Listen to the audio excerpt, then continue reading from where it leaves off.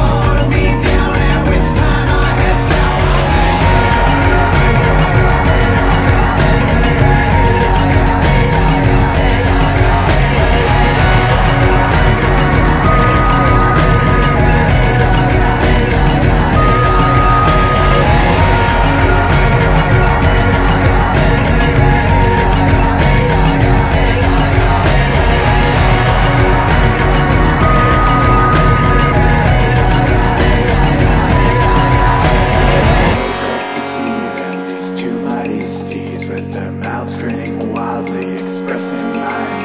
As they stood there above me, being flanked on each side, I felt no need to fear them, no reason to hide. So I reached up to touch, but they faded too soon, yet their mouths still remained and stacked up towards the moon. How that ladder of mouth waves so soft in the night.